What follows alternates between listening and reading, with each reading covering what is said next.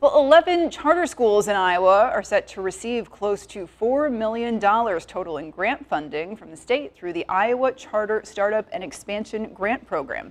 The money is meant to help new charter schools prepare for future operations and existing charter schools improve their offerings. Now, newly authorized charter schools, including Civica Elementary, Empowering Excellence, and Quest Forward Charter Schools in Cedar Rapids, will get $500,000 for transportation, curriculum, and security. Existing charter schools, including West Central Charter High School in Maynard, are getting $200,000 to expand education programming and to better equip classrooms as well.